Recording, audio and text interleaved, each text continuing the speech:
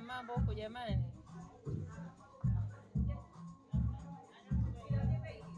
So today the church also celebrated a very important uh, feast. This is uh, the body and blood of Christ, which is called the Corpus Christi, the solemnity and the feast that mark the Holy Communion today.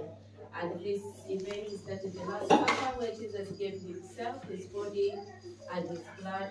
So, um, and he requested us to do that in memory, in remembering him.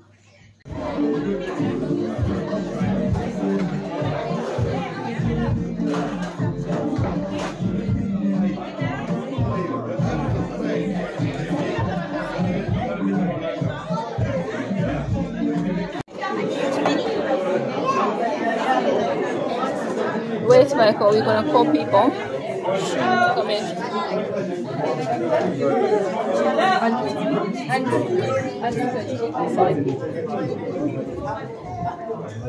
Hello, everyone. Hello, hello, hello. Hello. Uh,